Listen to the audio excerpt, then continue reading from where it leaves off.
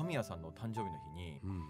あの夏目友人帳とパセラさんの,、あのコラボのカフェに行ってうん。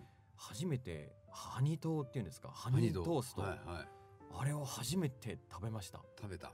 こてこさん食べたことありますかあれ？ハニトーあるよすごい。ほすごいっすね。いや全部食ったわけじゃないよ。全部じゃなくて。うん。いや和彦さんやっぱり何でもこういやあれなんか一時期声優の仲間とかもうん。食べ行こう食べ行こうみたいなのがあったんですけど、うん。僕はなんかその誘ってもらえる界隈にいなかったのかうん。行く機会がなくて今回初めて。えーずいぶん前からあるよねあれ。あそうですよそうなんですよ。その時はもう乗り遅れてうん。でなんとそのハニートーストのやつをまあ仲間として頼んだんですけど、うん。そこに来たのがこうあの怪しき来訪者のこうフォルムの人形がドーン。あそうやってくれるんだよ。そうなんです、ねえ僕もあるキャラクターのあるキャラクターやってるやつを。はい。バーンって。はーんって。そうなんですね。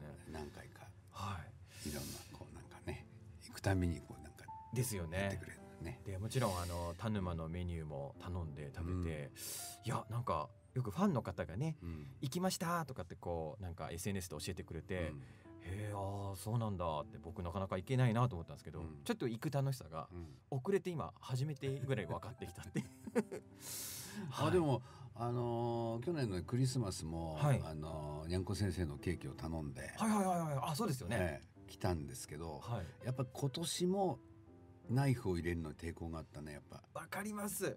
なんすかっごくわかります。ケケケーキ切るぞ切るぞ痛い痛い痛いやめろお前って自分でねやっちゃうんだよね。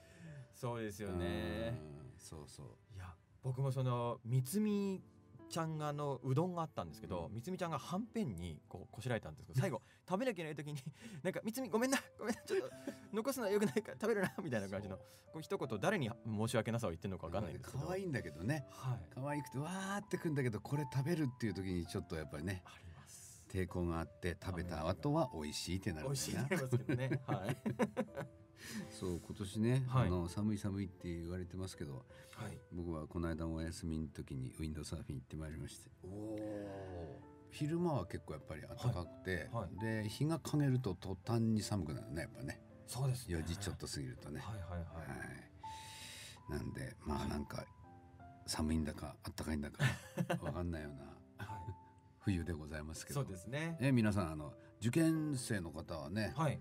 大丈夫ですかねなんかこのコロコロナ禍で受験するの本当大変だと思うんですけどね。ね。今年はすごい気遣いますようねん。まあ風邪ねひかないように頑張っていただいて、はい。えーいい成績を残していただけるとそうですね。明るい春が来るんじゃないかなと。ぜひね合格してほしいですよね。はい頑張ってくだ頑張さいってく。ださい。じゃあやりますか。はい。それじゃあ行きましょう。はい。せーの。ラジオ夏目友人帳あやかしのショー。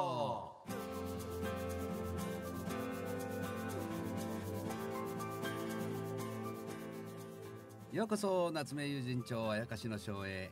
にゃんこ先生。そしてまだら役の井上和彦です。ようこそ夏目友人帳あやかしのショーへ。田沼要役の堀江一馬です まだら役のって普通に言っちゃった、いえいえ。はい。えー新作アニメーション夏目友人帳石起こしと怪しき来訪者たくさんの方が劇場へ足を運んでくれているようです、ねはいありがとうございます。ねカズマもね行ってそうなんですすあよの僕まだ試写に行っただけで映画館には行ってないんですけども、い。えいえわかりますもん。えーよかったですか？いや良かったです。なんてねいうんですかあの以前あのあの神谷さんと、あのこの間ラジオでしたけど動画で配信した時に、神谷さんがまさに映画館でその映画この時間に集中して楽しめるってことは本当贅沢だと思うんですって言ってたことが今年はなんか身に染みて分かりました。あそう、もう1年ぶりぐらいに僕もちょっといろいろやはりなんかあの気を使って行ってなかったんですけど、これは見に行きたいと思ってまああの仲間を支えなかったまあ、家族だったらいいのかっていう問題ではないんですけど母と初めて2人で行ったんですけどうん。なんかこうジーンときちゃいましたね。映画館で映画が見られるっていうところのもなんか始まる前に感極まっちゃってましたねあそうか。じゃあそれもねこの後じっくりと。もうはい。ここだけで大丈夫ですけど、はい、じっくりと今日ははい。今日は素敵なゲストもねはい。いらっしゃってくれていますので、はい。えーお楽しみに、はい。さて誰が来るんでしょはい今回のゲストは、はい。みすず役の黒田拓也さんです。ました。はいこの後ね登場していただきますので皆様お楽しみに。それではラジオ夏目友人帳あやかしのショー始まり始まり。この番組は夏目友人帳制作委員会の提供でお届けしますラジオ夏目友人帳あやかしのショ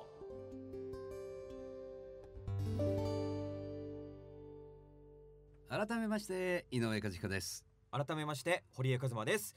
そしてこんにちは、みすず役の黒田孝也です。イイ。エーイ。どうも。はいということで今回のゲストは、はい。えーラジオには初登場となります。すね。黒田さんです。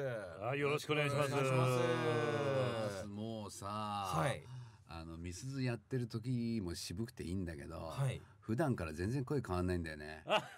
そうですよ、ね、スタジオに入ってきて普通に喋ってんのにはい。めちゃめちゃ腰にくる。来る。なるそうですよね。やばいんだよもう本当に。僕実は黒田さんとはうん。すっごい昔から、うだよのね。一緒で事務所が一時期一緒の時もうん。あるぐらい前からだったんで、うん。僕も初めてお会いした時の、うん。まあ、いい声とあの長身とあの怖い感じ。うん。もうだいぶ一緒にあの長い付けなんでなな慣れてきたって前ですけど体勢ができたんですけど最初は めちゃくちゃおっかなびっくり体勢って何なんだ怖いよ。ね知らなかったら怖いよね。いや怖いっすよ。ウイルスじゃねえんだよ。俺 もうねはい。本当にあの初めて会った時はね、はい。どうしようかなと思ったもんね何をおっしゃいますか。そうですよね。怖え人来ちゃったなこれな。いやいやいや。いやだからだから僕なんかはまだ先輩だからさ、い、い。けどさ、先輩面してはい。なんとか耐えていられるけど、はい。あの若い人なんかはね本当になんかね、しぼんじゃうと思うよ。シュンってそうなんですよ。なんか僕黒田さんにそうなんですよじゃねえんだよ。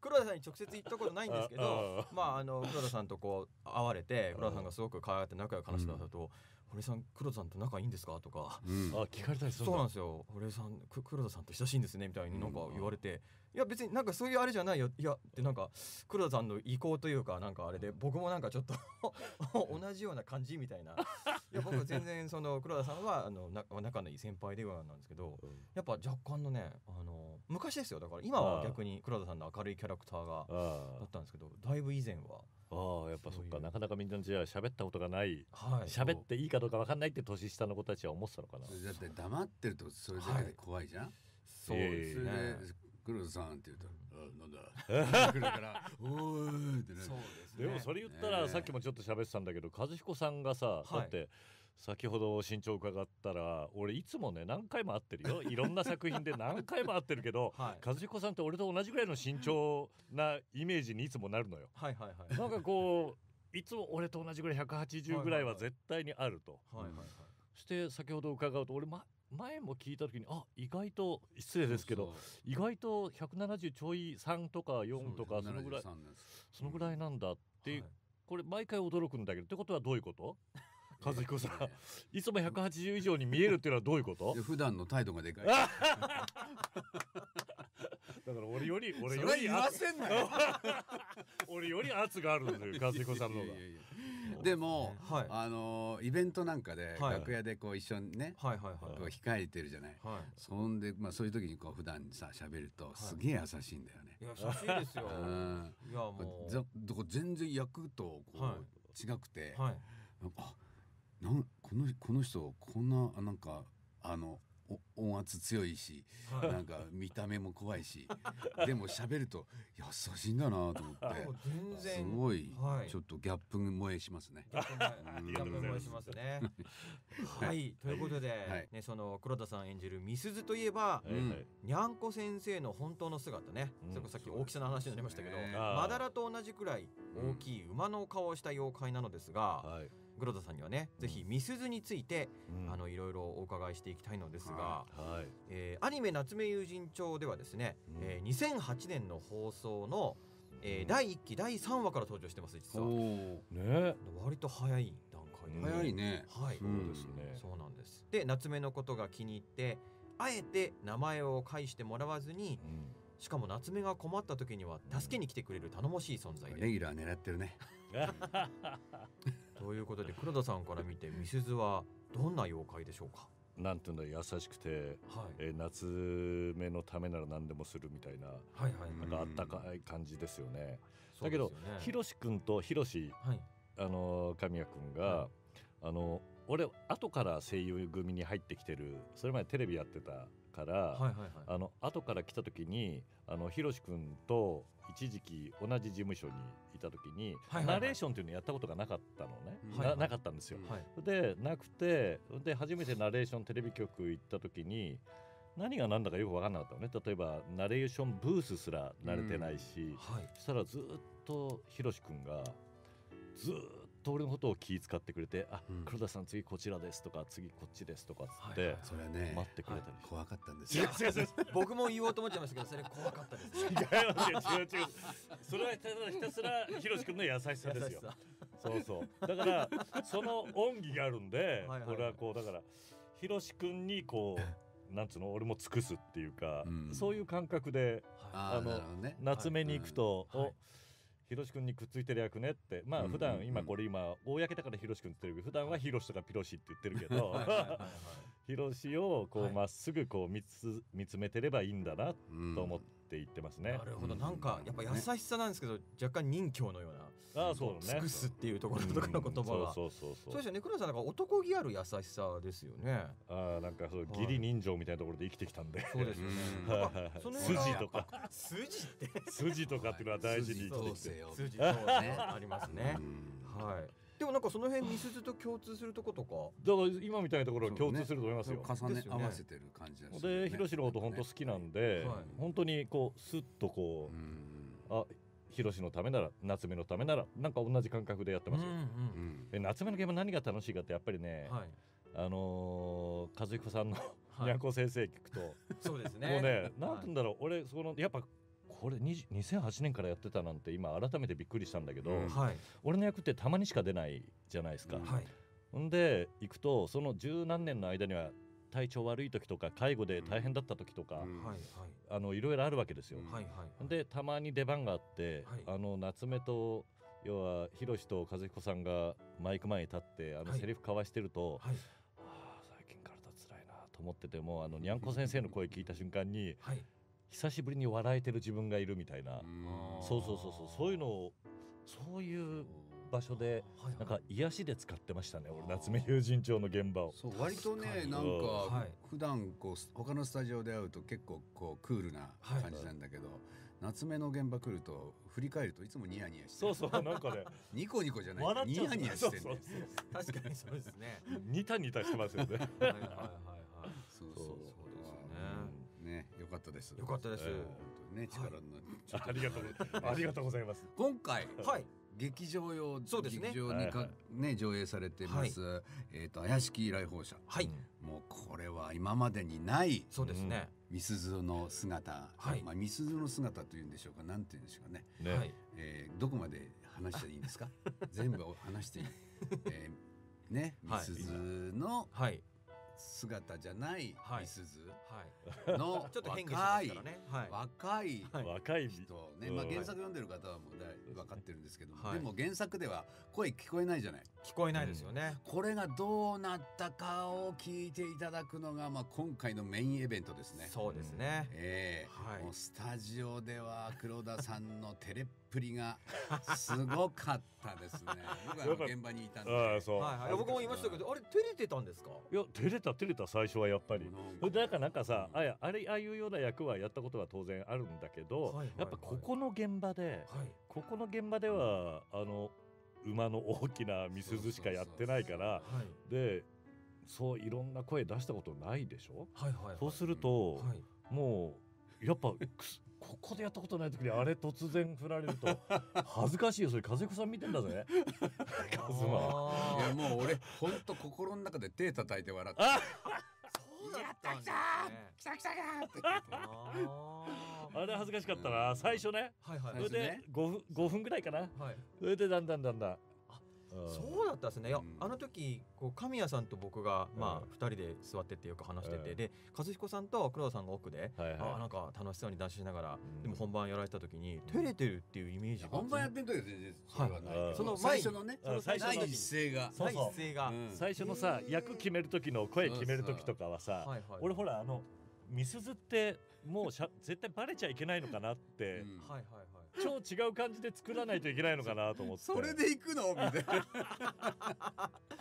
本番は違いましたけどね。そう。はそしたら別にみすずってバレてもいいぐらいのはい。変化の仕方、はいはいはいあはい。よかったと思って。苦しいところじゃなくてよかったと思って。そうだったいあれ取ってあるよねいやちょっと何言ってんですか？何言ってんですか？ちょっと。今度なんかの時に出してきてもらって。悪和彦さん。あのほら夏目友人帳はほら運の悪いことにテストから回すから。ああそうですね、うん。そうだ。絶対取ってあるからね。いやいやいやあれ監督のね宝物になってますからねきっとね。なんなら大森監督のところ遊びに行って、くっなんかデータを盗んでこれあ もうなんか弱みにいったぞみたいな感じになってると思う。ーそんな感じだったんですね、うん僕なんかあの神谷さんとうん。それこそあの、いややっぱ緑川先生さすがだなと思って、うん。ここでみすずがうん。出てきて、うん。田沼とこう絡むっていう展開が、うん。やっぱ緑川先生すごいなって言ってそこをこうすごいなってか語ってる神谷さんが逆にすごいなって僕は思っちゃって。あいやでもなんかすごく僕もなんか嬉しいですよね。あのみすずとなんでしょう田沼のコンビ、ーうん。あのにゃんこ先生とうん。夏目のコンビみたいにこうなんでしょうちょっとねね。たまに外伝的にみすずと田沼がちょっとこそうだね。う冒険するみたいな話。これからそういうシーンが増えてくれたら嬉しいけどね。いやそうですよね。まあ皆さんも本当に期待してると思いますし、えー今回もですね、はい。待ってましたっていうそうですよ。方からねたくさんメールをいただいておりますので、はい。ご紹介をさせていただきたはいいと思います。お願いします。ラジオネームぬくぬくぬんさんからいただきました、えー井上さん堀江さんゲストの黒田さんこんにちは。こんにちは。石おこしと怪しき来訪者鑑賞しました私はあやかしの中だとみすずが大好きなのですが、えー最近みすずメインのお話はあまりなかったので久しぶりにみすずのニヤリ顔が見られて嬉しかったです、えーとにかく黒田さんの低音ボイスが映画館中をバインバイン言わせていました。バインバイ。ン バインバイン。もうねなんかねスピーカーが吹っ飛んだっていう噂がありますからね。聞いたことないですよ 本当にみすずが近くにいるような感覚でとても新鮮でした、えーこのご時世で気持ちが沈んでしまうことが多くなっていましたが、えー夏目友人帳の映画を見て心が浄化されました。素敵な作品を届けてくださり本当にありがとうございましたというねお便りありがとうございます。ありがとうございまます。バインバインですよ。バインバイン確かに。す嬉しいですね。ね。え試写会でもやっぱすごい素敵なお声だなと思って。あらはい。ありがとうございます。聞てました。いや皆さん素敵なんですけどね。うんうんそうよ。だって和彦さんだってバインバインする。僕はまあバインバインじゃない。バインバインじゃない。ガスガスだねガスンガス。ンガスンガスンじゃないですよカスカスだ。カスカス。いいとんでもないです。はいそして引き続きまして、堀江の方から紹介させていただきます、はい。えーラジオネーム海牛さんからいただきました。ありがとうございます。こんにちは。本日石起こしと怪しき来訪者を見てきました、うん。黒田さんの今回の役どころに驚きました。うん。演じられる際に難しいと感じる部分はありましたでしょうか？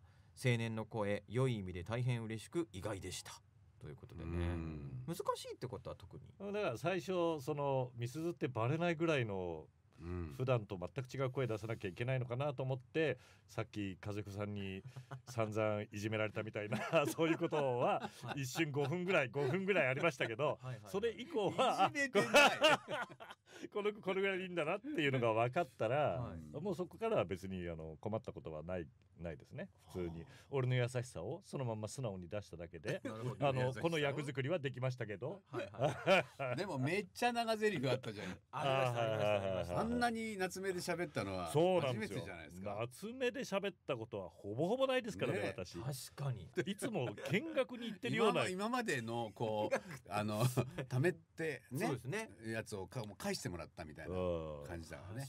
いやだから本当初めてしたくさん喋らせてもらったって感じですよ。僕と岡村明美ちゃんはいつもそんなにそう。行ってもあんまり喋らないんで。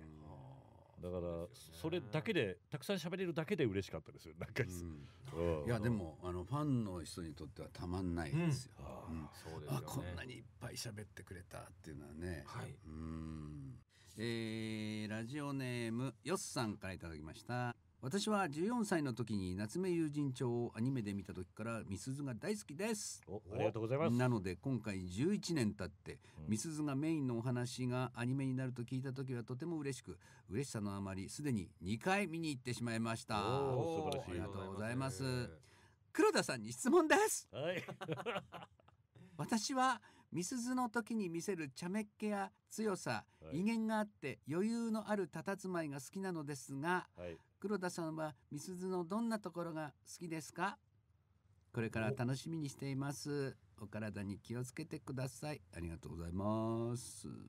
ということでね、えーどこですか？どんなところが好きですか？好きなところというと。矢のまっすぐ。こういうの好きですとかってね、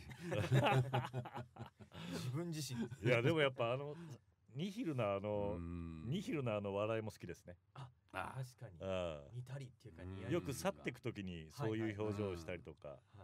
確率高いよね。結構結構見てますねなんかその絵を。うん。確かにそうですよね。なんか去る時のはい笑い。は、なんか高確率でやっている気がする。あの似たりがなんかすげえうん。セクシーっていうかなんかあれ何？ファンの人の気持ちを掴んで。ですか帰ねるんだね。ですかね。次まで忘れんなよみたいそう。なるほど。な。ね。そこが好きです。そこが似たりのところがね。そう。うーん。茶目っ気。茶目っ気。茶目っ気。茶目っ気もちょっとありますけどね、うん。だけどうんうんうん。この作品に関してはやっぱりにゃんこ先生じゃないですか。茶目っ気に至っちゃうもんにゃんこ先生はね茶目っ気多すぎ。ですよ。みすずはちょっとだけそういう時がありますね。そう。う。ん。でも今回、はいあのーみすずがなぜあの姿になったかっていううん。こう話があったじゃないですか。えーなるほどと思って最初になんでこんなねなんか沼からこの姿で出てくるのかみたいなのが分かんなかったけどその話だったから。そうですね。うん。みすずの誕生秘話じゃないですけどね。うん。なるほどなるほどって。だから黒田さんかと思って。ねそういうわけじゃないか。まあでも面白かったですねあのストーリーね本当に。ねえまあできればねはい。みんなで撮りたかったですけどね。そうですね。そうですね。はい。まあ黒田さんにとってはあの小人数で撮ったのは救いだったかもしれませんね。そうですね。ええ最初の5分あがの中級たちに冷やかされたの たまったもんじゃない。ああそうですね。あいつらに聞かれなくてよかったよ。ね 確かにね。はい。ということで、たくさんのメールをいただきました。ありがとうございました。ありがとうございました。はい。続いては茶目っ気たっぷりのにゃんこ先生の可愛いコーナーです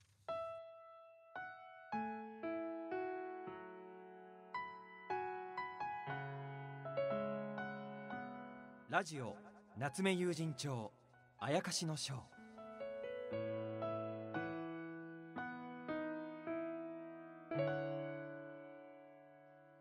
プレイバックにゃんこ先生。可愛いね。なかなかよくできたな 今もう直前に皆さん聞いてくださいこのリスナーの皆さん。今ほんと直前にね可愛く言ってねって和彦さんからのこの圧が来て。熱きましたね。もう今無理くりやりました。頑張ってノリノリだったじゃん。ノリノリでしたかね、はいということでみんなの大好きなにゃんこ先生の名シーンを振り返るプレイバックにゃんこ先生、はい。これまでのアニメシリーズでどんなシーンがお気に入りか皆さんに教えてもらって改めてにゃんこ先生の魅力を深掘りしていきます今回もたくさんメールをいただいたので早速ご紹介していきますはい。はいお願いします。はいまずこちら、えー、にゃんごろうの彼女さんからいただきましたうん。石起こしと怪しき来訪者見に行きましたありがとうございます。ありがとうございます。みすず役の黒田さんの声がほんと痺れました。ありがとうございますありがとうござい それどっちがみすずでしょう？ね。はい、本題ですが、はい。私の好きなにゃんこ先生の場面ははい。夏目友人帳一期の12話で夏目が呪いを受けてにゃんこ先生が小さくなってしまいます。その時の晩ご飯がイカフライでにゃんこ先生が今夜はイカフライだなイカはいかが？と親父ギャグを炸裂するところがたまりません。これからも応援していますということで、はい、ありがとうございます。はい、小塚さんこれはセリフだったんはいですか？口パク余ったんですよ。瞬間的に。瞬間的に瞬間的に言ったんです。いかはいかが？ああーいやもういい逃げ。いい逃げあの NG 来るかなと思ったら OK になっちゃいます。ありがとうございます。あのイカフライだけがもうにゃんこ先生ちっちゃくなっちゃったから、はいすっごいでかいイカのフライになっちゃって、はいもうにゃんこ先生としてはたまんないわけですよ。そうですよね。こんなでっかいイカフライを食えるなんて本当に 夢のようだっていう。そうですよね。その面白いシーンがもう瞬発的に テストでテストの時に和彦さんやらないですからね。そうなんだよね。やりますよ。本番でイカイカがってそうそうそう。ってこうみんなねあれやばいんだよね俺たち後ろにいて。本当やばいですね。でプッて吹いちゃったらね NG になっちゃうからねそうね。もう吹いてくれることを期待しながらやってる。怖いですね。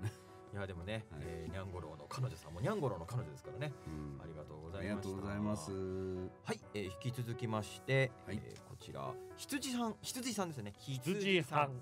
羊さん。からいただきました。失礼いたしました。はいありがとうございます、えー、井上さん堀江さん黒田さんこんにちは。こんにちは。えー私が好きなにゃんこ先生は夏目友人帳3第3話。偽りの友人でお風呂上がりに夏目がドライヤーで乾かしてあげるシーンです。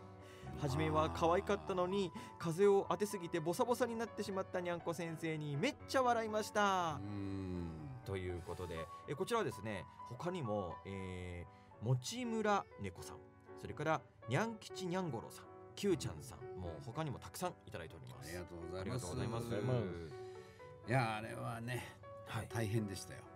大変ですドライヤはいーをスタジオに持ってきて。風を口に当てて、はいララララララっていうね。うんあの全然やってなかったですねそのことは全然やってなかったですいやそういう雰囲気を出すのに、あ出すのにはいねはいはいはいはいはいもう前の日うちで練習していった。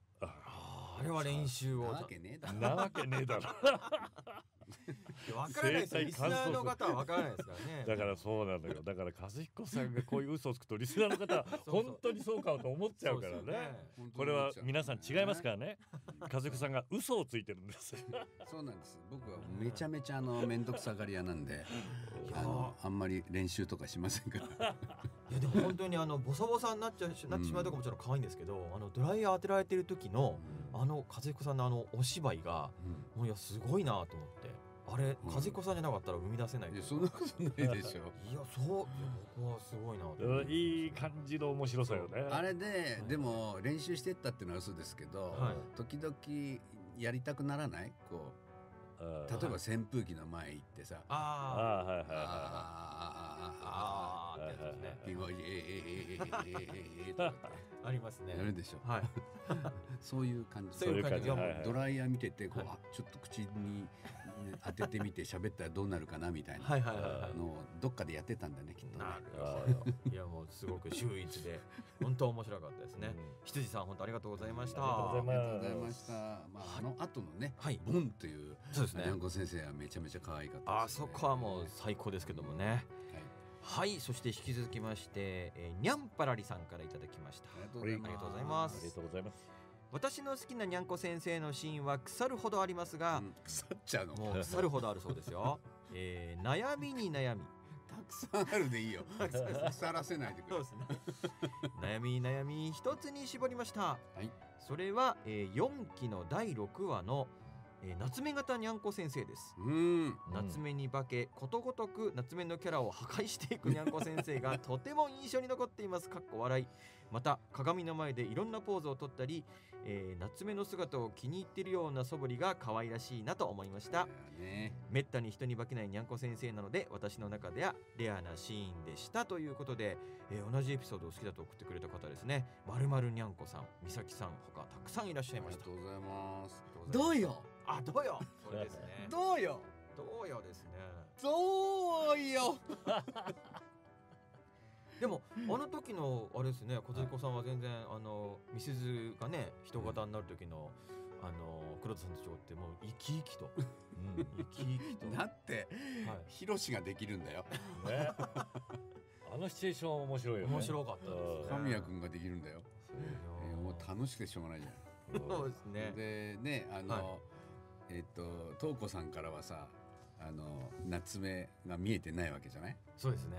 だからもうやりたい放題じゃない？はいはいであの 敬語とか知らないからさ、はいはいバンバン言っちゃって、はいはいで夏目にダメ出しされるじゃない、はいはいはいもうあの辺のやり取り最高におかしかったいや面白かったですね。ね。僕も直前にね見せてもらってあ面白いな。あれもうね僕本番でも笑いそうになりながらやってたもん。いやみんな結構もう笑いを抑えながら 本番中もやってましたけどね。も本当におかしくでも絶対あれはねはい。あのー夏目のオリジナルだと思ったんですよ。あ。そしたら原作にあるんだね。原則にあります？緑川先生すげえなと思って、すごいですね、いやでもすごいなと思ったのは現場であそこの声を、まあ、神谷さんがあの声でうん。にゃんこ先生風にやることも、まあ、選択肢としてあったじゃないですか、うん。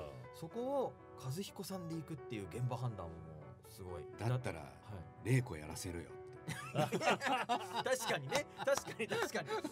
確かにそうだ。玲子はやらせない。玲子はやらせてくれない。玲子はやらせないですね。あれは多分ね大森さんの監督のはい。なんか玲子への対するねなんか愛情があるんですよ。あこれはね和彦に壊されたくない なるほど黒田さん的に思い出に残ってるシーンとかにゃんこ先生。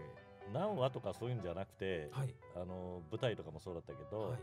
にゃんこ先生が酔っ払ってる姿がいつも見てて好きなんですね。そうですね。うん。はい。それであそこら辺なんてもうほとんどガチャガチャガチャガチャしてるところってアドリブがそれこそ自由に和彦さんが暴れ回るじゃない、そうですね。あれを聞いてるのが楽しいっていうか、確かに。うん、ドリブね。はい。そうなんかいつしかあのなんか犬の会なんですけど妖怪たちのあの和彦さんっていうか和彦さんじゃないや。にゃんこ先生周りの 妖怪のシーンってなんかすごいほのぼの楽しいうん明るいシーンになりましたよね。うん。最初の頃なかったですもんねあんなわーいみたいな感じの。定番ですよねだからもうね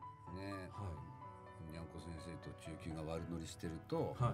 そこ面白いからってやっぱり増やしていただいてんじゃないですかね。うん。そうかもしれね。ないですよね、うん。今回のあの三つ見のお話もねうん。あの本当にそうでしたもんね。わーって感じでうね、ん。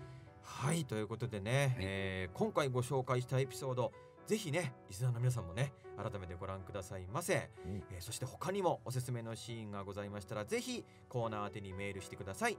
何期の何話かを添えてもらえますと、えー助かりますがわからなくても大丈夫でございます。ということでたくさんお待ちしています。待ってます。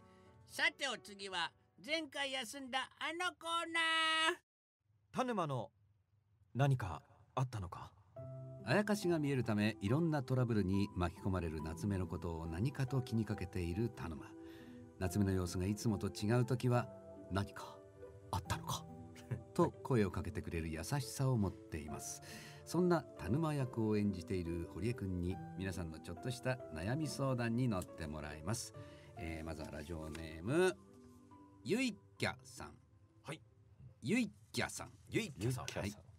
えーありがとうございありがますとうございます。えー私のおじいちゃんは毎年冬になると湯たんぽを毎日お布団の中に入れてくれます。あら優しい。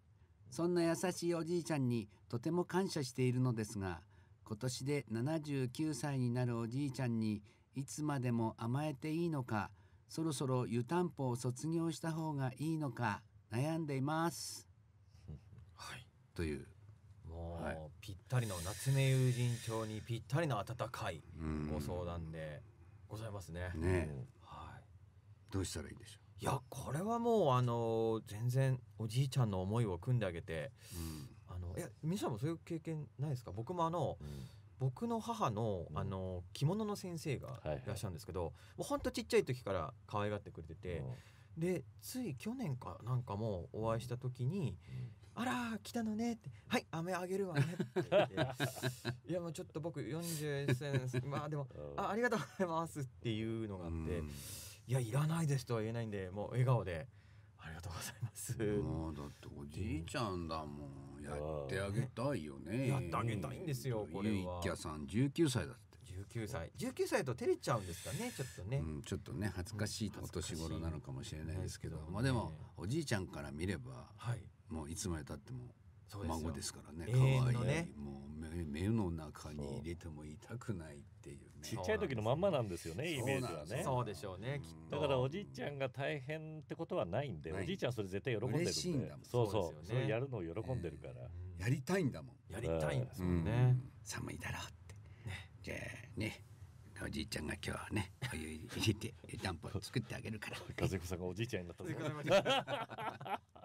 ほらほらゆうきゃんはい、はい、寒いからこれ中に寝なさい。ってね。ねうん。そしたらもうねゆいかさんはね「ありがとうおじいちゃん」ってこうん。うねそこまでこう高まってなくても笑顔でうん対応してあげるのがこれがねあのおじいちゃんがいつまでも元気でいる秘訣ですよね、そうですね。それができるとゆいかさんもゆいかさんですね。本当に大人の階段を登っていることになりますから。そうそこは受け取ってあげてっていうことになり甘えちゃってますよね大丈夫甘えちゃって大丈夫ですね。ずっと甘えてください。うん。はい。はい。じゃあ、えー、田沼君から、はい。ゆいきゃさんに、はい。一言。はい。もっと甘えてくれていいんだぞ。そうだぞ 甘えていいぞっていうね。うん。今大変な時期ですから甘えられるとこに甘えましょう。はい。はい、えーすいません。それでは。はい。田沼君が謝ったところで、はい。ラジオネーム目玉焼きはポン酢派さん。からいただきました。ポン酢派14歳だって。はい。はい、えー、父親の誕生日プレゼントが決められません。毎年毎年プレゼントは靴下なんですクリスマスプレゼントも靴下を渡してしまいました、今度こそは靴下以外を渡したいです。何を渡せれば喜ばれるでしょう？何か憑依してませんか？目玉焼きはポンさんからいただきました、はいえ、14歳の？14歳。クリスマスプレゼント靴下正解じゃない？うん。いや僕すごいですね。14歳でうん。親にプレゼントを買うっていうもう偉いね。偉い偉い。すごいですね。本当偉いわ。いや偉いですね。うん。いや僕もあのちょっと父と疎遠になってるちょっと家庭環境もあったんで僕もある時期からもうちょっともっと年っては20を超えてからですけど、うん。プレゼントするようになって確かにこれ毎年悩むんですよ。何あげたらっていうであの解決方法がもう見つかって、ううんちの父の誕生日が11月であの、うん。まあワインが好きなんで毎年もうボジョレ・ヌーボーにしようああ決めてあの今年もあのお墓参りついでにボジョレ・ヌーボー持ってっていつものだけど、ね目玉焼きはポン酢さんはい。ボジョレーヌーボーにしましょう。いやちょっと待ってそうですね。あのお酒買えない。よ14 14歳歳買えないですね。そもそもそうですね。そそこが間違って。僕はね、はいはい。子供の頃に、はい。まあ、もっと小さい時かな小学校、本当に12年生ぐらいの頃に、はい。もうお小遣いって言ってもさ10円とかしかもらわないじゃない。はい。でそれを貯めて、はい。あののしいかを買ったんですよ。のしいか。のしいかってでもペラッペラじゃないはいはいはいこれプレゼントっていうにはあまりにも薄っぺらすぎちゃって、はい。これなんか立派に見せたいなと思って、はい。であの新聞紙でくるみました包みました。はあでまだ小さいなと思って、はい。まだまた新聞紙に包みました、はい。でまだちっちゃいなと思ったら近くにあの箱があったんで、はいはい。その箱の中に入れました、はい。それでまた新聞紙で包みました。ってこのぐらい、まあみ、ラジオじゃわかんないか。だいぶ大きいですね。にゃんこ先生ぐらい大きくなってで「はいプレゼント」ってやったら、はい。うちの親父がずーっとそれを向いて はい出てこない出てこないっつって最後にペロってこのしが出てきてありがとうっつって。そうですね。てましたよ。いやなかなかね、はい。それはあのお金がなかったなりのなんかあのアイディアだったなって自分でもね自分で褒めてあげましたね。俺はよくあるよくあるやつうん。をそのままやってました。あの小学校の時とかははい。うん母親に肩叩き券あ10枚とか。いいですね。はいそうそう。肩壊さなかった？お母さん。大丈夫大丈夫。俺もう小さい時だったんで。今だったらぶち抜いちゃうね。大丈夫です。お母さんぶち抜くってやばいじゃないですか。骨折れたとか。大丈夫ですよ。ごめんやりすぎた。あでもいいですね、うん。確かに14歳だったらそんなにね気張らず肩叩き券でも、うん。ね一緒にご飯食べ行くとか。いや、うん。だから僕今回あの母と一緒に映画を見に行ったんですけど、うんそれだけでも母はすごく喜んでくれてあんなに喜んでもらえると思わなくて、だってそれだって田沼が喋ってんだもんいっぱい。そそこ。これお母さんはだってはい。旗持ってなかった？いや旗とかそんなもうえ？目立たないようにやりましょうっていう感じで、はい。田沼いやいや故郷に錦を飾ったぜ鎌田行進曲いやだいぶそういうあの割とあの質素な感じで。えでも普段から映画とか食事とかって行くの、お母さんと。あの食事はうん。まああったんですけど、うん。映画はやっぱ子供の頃、うん。弟もいたんで、三人とか家族四人とか。やっぱ子供以来か、うん。そうなんですよ、そうだよね、はい。じゃあそれはお母さん嬉しいんじゃない？なんかね大人になってからいやね本当に嬉しいと思うわ。いやーだからうん。本当今年は逆にあのこういう状況下じゃなかったら母と二人で行こうと思わなかったんで、うん。本当に良かったんですけどだからもう本当に誕生日を一緒にね過ごすだけでもうん。肩たたたき券でもいいですし、うん。うんなんかプレゼントがねいいのが見つかればもちろんいいですけど、うん。見つからなかったら本当ご飯だけでもね。いや靴下でもさいや全然そうですよ。靴下いいですよ。靴下渡したんでしょ、だけども例えばさう、はい、あの5本指の靴下とかあるじゃん。ありますよね。それいうのを渡したのかな？でも今までと違うバージョンの靴下をそうですよね。靴下はもう消耗品ですから、もう毎年ねね。見てもらったって、あ今年はこんな靴下かってね喜んでくれますよね。5回楽しめるぞ指をい一本一本通すのにって。そういうことですかねでもまあああいうの履いたことない人はそういう。ちょっと履き心地とか確かめるのに面白いかもしれない。小指とあの何？薬指っていうの？えっと小指と薬指ですよね。をなんか一本の指に入れちゃったりとかしてさ入らない入らないとか言って。ーあでもだんだんほら年取ってくると本当にそうなるからあのそれでこう神経指先をこそうそう。ねこう神経活かせるのにいいかもしれないですよ。うんそうですね。だけど必要なもの絶対的に必要なものってパンツとかそういうのってありがたくありません？ありがたい消耗していくものって。うんうんうん。変に凍るよりもうん。必ず使う必ずなくなるとかそういうものって、うん。そう。うん、とてもいいプレゼントだと思いますけど。以前にヒロシにはい。パンツをもらったの誕生日のプレゼントで、そうなんですか。超派手なパンツで。はい。でありがとうっつって履いて行ってイベントだからさせっかくあのね神谷君からもらったから、イベントにじゃあイベントに履いていこうと思って。あ履いてこうと思って履いたの。はいはいはい。それでほら出番の前ってさ、はいこう本番の前って大概トイレ行くじゃない、それでちょっとトイレ行ってこうと思ったら社会の窓がなくてさ。ああああそうなんですよ。おしゃれなブリーフとかパンツってないんですよね前が。前焼きじゃないんですよ。何の話してんの？そうそう、はい。えーなので、はい。ねまああのパンツプレゼントするとは時はね社会の窓付きがいいです僕は。僕もそうですね。で僕らのこの僕はなしがいいです。僕はなし。僕はだって俺はなしがいい。こっちのパンツいいよね。パンツはいいと思いますはい。はい、ということでありがとうございました。ありがとうございました。それでは君一はい。言よろしくお願いします、はい。もう消耗品でも何でも嬉しいけど君との時間が嬉しいぞ。っていう感じになりますかね。といっていうって何っていう。っていうか。っていう。このなんかななんか収め方いまだになれないんですよ。うん、俺今初めてゲストに来たけど慣れてないな感は。ですよね。でもそれがカズマの良さよ。ああそうですか。うん。言われるまで考えてなかったそうですね。あのパンツのことばっか考えててはい。はい、えーということでこんな感じでどんなお悩みも遠慮なく相談してください。頼む役の堀江くんが真面目に何かあったのか。愉快にお答えいたします。ラジオ夏目友人帳あやかしのショー。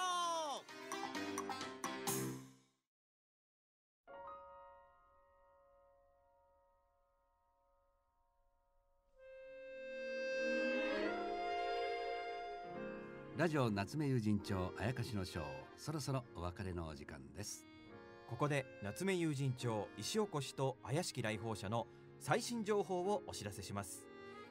夏目友人帳石起こしと怪しき来訪者は劇場にて上映中です。新たに上映が決まった劇場もありますので上映劇場は作品公式サイトにてご確認ください。はい、えそしてこれまで7都市で開催してきましたアニメ夏目友人帳展ですが多くの方からご要望をいただきまして広島での開催が決定いたしました。えー期間はですね4月15日木曜日から5月5日の水曜日までです、えー詳しくは夏目友人帳店の公式サイトをチェックしてください。以上お知らせでした。はい、えーさてこの番組では皆さんからのメールをお待ちしています。田沼の何かあったのか？のコーナーには田沼役の堀江くんに相談したいことを送ってください。はい。そしてプレイバックにゃんこ先生にはにゃんこ先生の好きなシーンやセリフエピソードなどを送ってください。たくさんのメールお待ちしています。待ってるぞ。さて今回はみすず役の黒田孝也さんと一緒にお届けしてまいりました。今日はいかがでしたか？いや楽しかったですね。そうですか？あ嬉しあいです。りがとうございます。おーなんかやっぱお二方ともお二方それぞれ全く違う全く違ううん。タイプのボケだからね。タイプの。うん。そう。これは面白かったですね。こうお客さんとして見てても面白かったです。ツッコミがいないのよ口が 両方ボケだから。確かに。そうですね。そうなんです。いやでもなんかなんか和彦さんにこううん田沼のこう声真似というかなんかちょっとしてもらうとドキドキしますね。なんか笑っちゃうっていうか、ね。なんで？いつかそういうなんかエピソードも田沼に化けてちょっと悪さしてほしいですね。でも僕の出番はなくなりますけども和彦さんに田沼の声でこ似てたもんさっきも。ういやそうですよね。うん。ちょっとやってほしいなとえー思っちゃいました、そういうんだったら、はい。みすずにやってほしいよあね。確かに。うん。みすずが田沼に化けてって。ああ練習しとく 今度の今度の映画まで。ね今度映画映画化されるんですかそれ。すごい。何かあったのか。バレバレえ、タヌマ？にバレてるけどって。バレバレな夏目くん。真似る気がない。真似る気がないみたいな。モノマネが下手なミス。似せる気がない。はい。はい、えーね、あの皆さん待望の黒田さんに来ていそうですねただきましたけどね、はい。喜んでいただけましたでしょうか。はい。おさあ、はい。この続きはーうん。石尾越と怪しき来訪者。そうですね映画館ではい。見ていただいて、はい。そうですね。今日のことは決して思い出さないでいただきたい。そうです。そしてぜひね映画館で改めてねうん。はい。みすずの魅力に気づいていただきましてですね、はい。これからも応援していただければと思っております、はい。えーラジオ夏目友人帳あやかしのショー次回配信は番組ホームページやアニメの公式ツイッターなどでお知らせします。ぜひぜひぜひ聞いてください。それではこの辺でお相手はにゃんこ先生まだら役井上和彦と田沼要役堀江一馬とみすず役黒田孝也でした。バイバイ。またなー。バイバイ。バイバイ。